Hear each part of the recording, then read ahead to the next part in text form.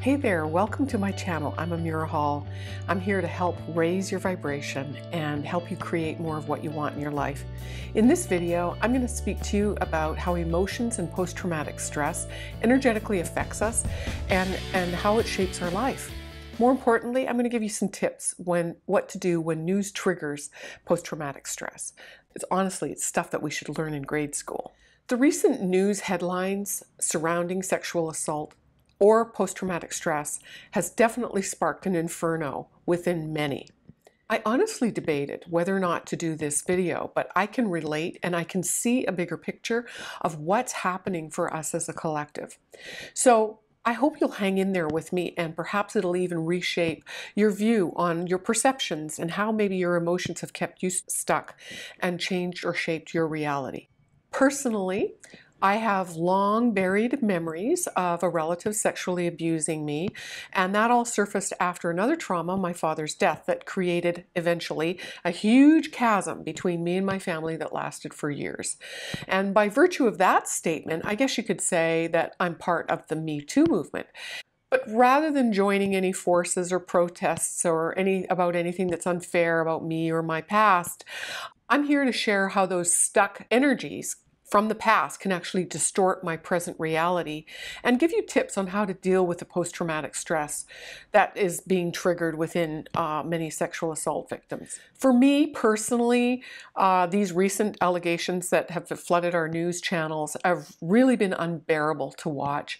And it's shocked me really how really catapulting us into some massive changes. Clairvoyantly speaking, looking at the energies, I can tell you that the broadcast media has an agenda and it's not truly about sexual assault, but it's rather a convenient camouflage um, and perhaps some political maneuvering, which that is not my expertise. With that said, the emotions that are flaring up are definitely screaming to be healed. And no question, it's affecting millions of people.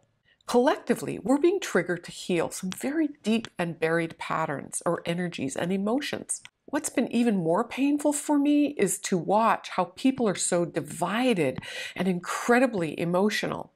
When I look at these energies clairvoyantly, I can tell you that these emotions are being triggered in others who don't even believe the, the survivors. And I can relate from my own personal experience uh, that others really can't believe these incredulous claims. I get all that different consider perhaps that maybe different souls have different lessons to learn and they have a different experience and a different process to go through. And when you layer up all this machine gun rapid fire news and social media that's definitely pouring gasoline on an inflaming growing cycle of rage and hopelessness and and paralyzing anxiety uh, for everybody that's affected. We are being triggered to heal on many, many different levels. And from my own personal experience, I, have been there where talking and blaming and talking and blaming is a is an endless cycle that really doesn't change anything or fix anything. Yes, I've experienced those fight or flight responses uh, that we're witnessing all around us that definitely emotions are in overdrive um, with all of these claims that have been thrown in our face. Studies actually made of, on female assault victims actually experience post-traumatic stress symptoms for up to weeks after the experience and, and up to 30% of the females studied had symptoms months later. So what do we do with all of that? You know, what can we do rather than placing blame. And why is it that they flare up all of a sudden unresolved? You know, those symptoms can last for years. They lie dormant for unlimited lengths of time, and then they flare up and they feel like they're fresh and like they just happened yesterday. That is, of course, if you let them. And so, why is that? Is it because they go unreported or is it because they weren't resolved? How can we get to a higher level of consciousness to resolve the unresolved? You know, thousands of sexual assault survivors have revealed their traumas to the world recently, and they're filled with rage and anger, and justifiably, I understand that. But energetically speaking, all we are doing when we, we vent to the world is we're actually energetically throwing up on everybody. Energetically speaking, that's an emotional vomit that's just really nasty. And as a sensitive, I can tell you, it just feels horrible. Does that help us awaken? Does that help us evolve? Yeah, it may trigger some changes. Perhaps these issues become, you know, front row and center. But I want to make a point here in that you are not Mrs. F and or Mr. K. And the point is that we all have our reasons for not reporting or feeling the pushback when we do report. That's not the point. Times are different now. Uh, conscious awareness is different now.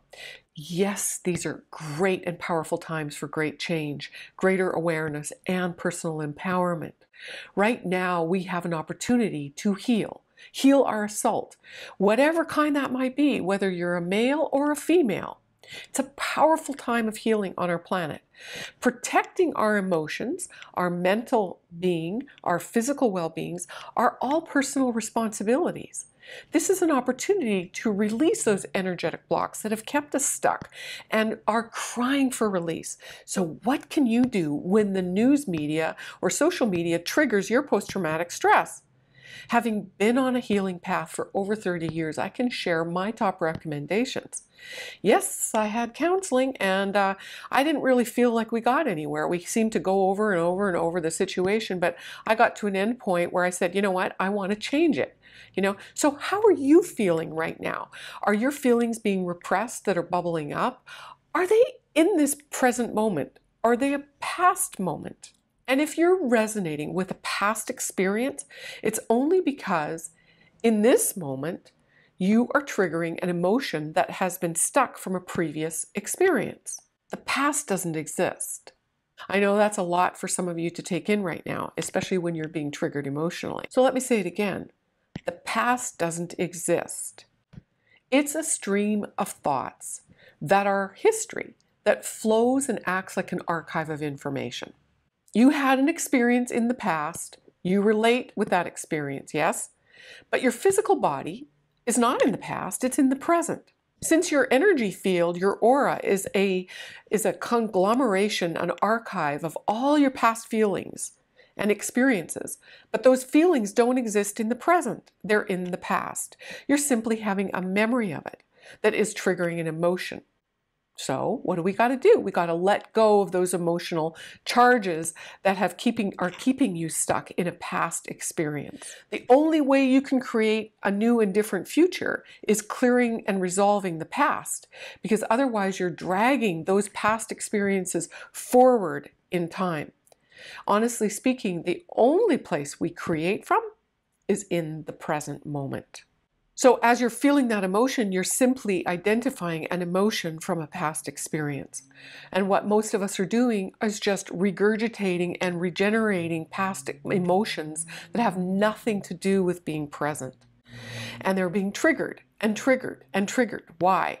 It's coming up, oh, I'm powerless, I'm, I'm going to fight back, or I'm unimportant, or I'm disrespected or dishonored, or I feel weak, or I'm unsettled and unfocused and traumatized. Yes, these, these are triggering us. Heal me, clear me, release me from the bondage of my past.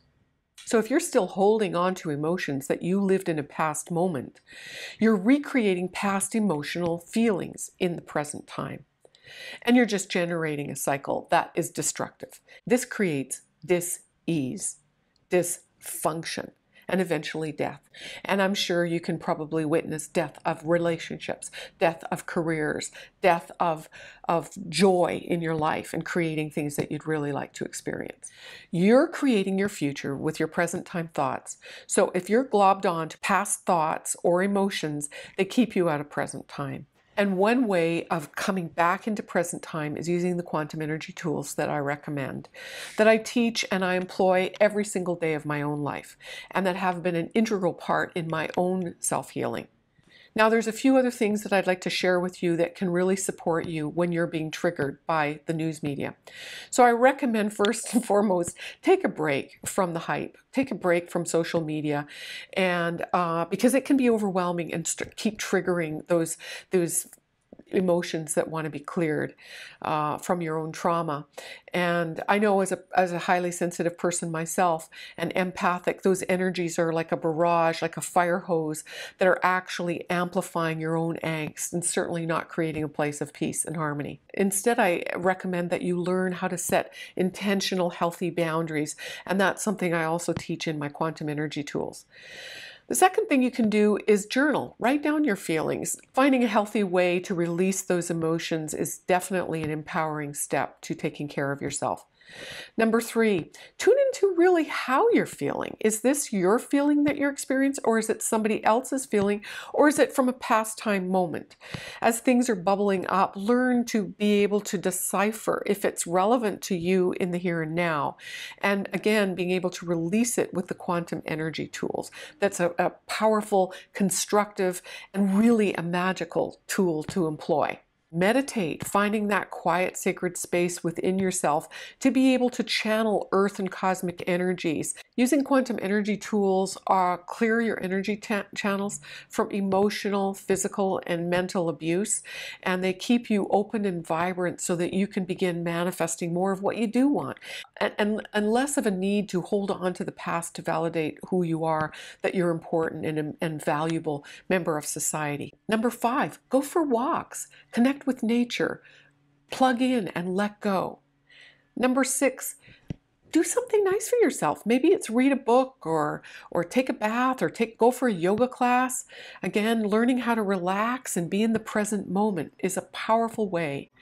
Besides being aware of how you're feeling. Number 7, be mindful of not overusing substances. You know, a glass of wine might be part of that self-care, but be mindful that you're not over consuming.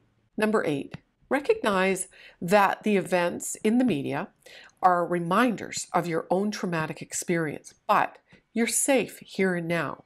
They are not you. You had your own experience and you have your past, and it is time to clear and heal and release it. Number nine, share your experiences with supportive friends who won't be judging you or a partner to be mindful of not energetically vomiting on those other persons or expecting them to fix you or pity you. And number 10, get some professional help. Personally, I've worked through my own garbage and I have supported thousands of women and men actually um, who are ready to move past those traumatic experiences and live an empowered way of being. If the news cycle is making you feel out of control, isolated, or dysfunctional in any way, and you can't function and everything's being triggered up, you find yourself over medicating, it is time to get some professional help. And you can find a link below where I accept um, private uh, sessions.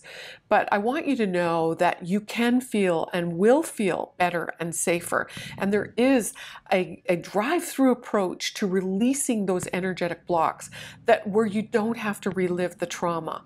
And that's the part that I signed up for because I didn't want to rehash it and over and over. And if you're ready and you're ready to let go of all of that and move on um, and live an empowered, radiant, abundant life, that's what I'm here to do is help you get to that next level for yourself. You don't have to stay stuck in that traumatic trap, uh, feeling pessimistic or hopeless. You can release this trauma and you can live a completely fulfilling life. So many blessings to you. I'll look forward to seeing you on my next video. Don't forget, give this video a thumbs up if you relate to this and kindly share it with anybody, any sister or brother that you know needs a, a, an alternative way of looking at how this is triggering their post-traumatic stress in their life. So, to your enlightened journey, I'll see you on my next video.